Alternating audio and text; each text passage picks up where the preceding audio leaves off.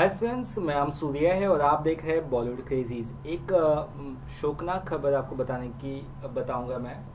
और ये बहुत ही ज़्यादा अपसेट कर देने वाली खबर है। खबर जुड़ी है इंद्र कुमार से। इंद्र कुमार तियालीस साल की उम्र में ही इंद्र कुमार का निधन हो गया। इंद्र कुमार एक अच्छे खासे अभिनेता थे। इन्होंने कई सारी फ़िल्मों में काम किया था। 20 साल जब तक ये फ़िल्म इंडस्ट्री के में रहे, तब तक 20 से ज़्यादा फ़िल्मों में इन्होंने काम किया था। और ज़्यादातर इनकी फ़िल्में जो थी वो सलमान खान के साथ है आपने हाल ही में मतलब हाल ही में तो नहीं कहेंगे वांटेड फ़िल्म में इनको देखा होगा सलमान खान के साथ और इसके पहले भी कई से फ़िल्म में देखा होगा। और इनकी पहली डेब्यूट फ़िल्म जो थी ये थी आई थिंक तिरछी टोपी वाले वो भी बहुत बढ़िया चली थी और बहुत बढ़िया बढ़िया गाने थे उसमें। और जिनकी एक लिस्ट ऑफ़ फ़िल्म उसके बारे में अगर देख ले तो बात करते हैं। अ, कहीं प्यार ना हो जाए पेइंग गेस्ट वांटेड जिसे मैंने कहा आपको और तिरछी टोपी वाली इसकी मैं बात कर रहा था। ये इनकी बहुत ही प्यारी फ़िल्म है, आप ज़रूर देखिएगा तिरछी टोपी वाले। आपको आपके बचपन की याद आ जाएगी अगर आप 90s में जन्मे थे तो।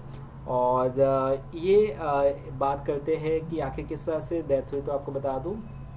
आज ही मतलब कल रात को दो बजे के करीबन कार्डिक अरेस्ट आया था इन्हें, यानी कि हार्ट अटैक आया था।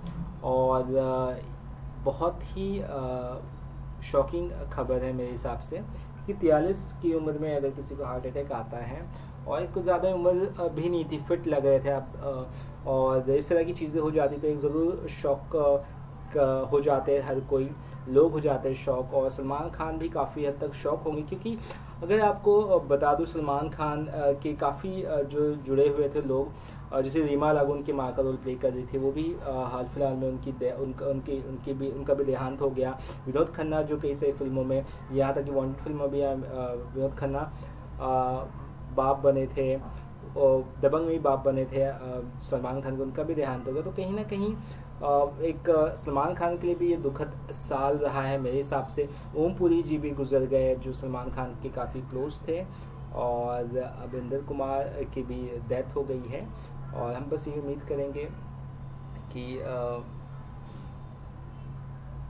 इनकी आत्मा को शांति मिले और सभी से यही कहने की कोशिश करूँगा मैं कि बिना टेंशन लिए, बिना परेशानी परेशान हुए जो भी आपका दिल करे वो करिए। ज़रा भी टेंशन ले, ना लीजिए, चाहे लाइफ कितनी भी बुरी हो, चाहे कितनी भी गड़बड़ चीज़ें चल रही हो, लेकिन टेंशन मत लीजिए क्योंकि टेंशन का कोई इलाज नहीं है और टेंशन अगर हट गया तो आपका 99 परसेंट आप आप सेफ़ हुआ 90 99 परसेंट मैं कहूँगा आप हेल्दी रहोगे, आपको कभी कोई दिक्कत नहीं होगी। तो भगवान के लिए आप अपना ख्याल रखिए और बस इस खबर के बारे में आपकी क्या राय है, आप ज़रूर बता सकते हैं। चलिए, फ़िलहाल के इतना ही। Bye bye